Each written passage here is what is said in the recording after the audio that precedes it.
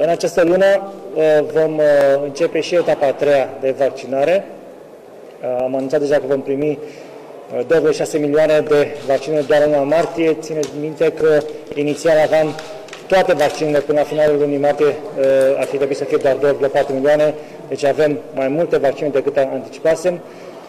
Dar este important să continuăm această campanie de vaccinare. De aceea am cerut și Colonel Gheorghiță și Ministrului Sănătății să uh, pregătească și dacă se poate să înceapă mai devreme această campanie de vaccinare, etapa a treia, uh, ca să dăm drumul tuturor oamenilor să se vaccineze, să putem să... Uh, eu zic că, de fapt, zic că dacă mergem în acest ritm, s-ar putea să ajungem mai devreme la acea țintă de 10,4 milioane uh, decât ne uh, la sfârșitul septembrie, să fie mai devreme, poate chiar în vară, dar depinde doar de noi să, să mergem să ne vaccinăm. Este uh, o nebunie să lași Uh, locuri libere când sunt români care vor să vaccineze.